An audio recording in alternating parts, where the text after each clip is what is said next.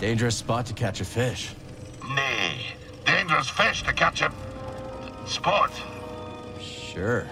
Aye, that one slipped the line. But sarcasm is weak bait.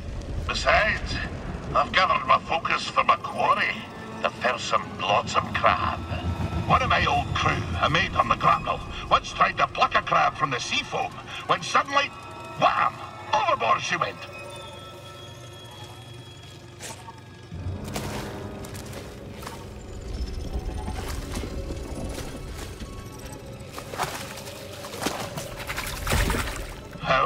Was I?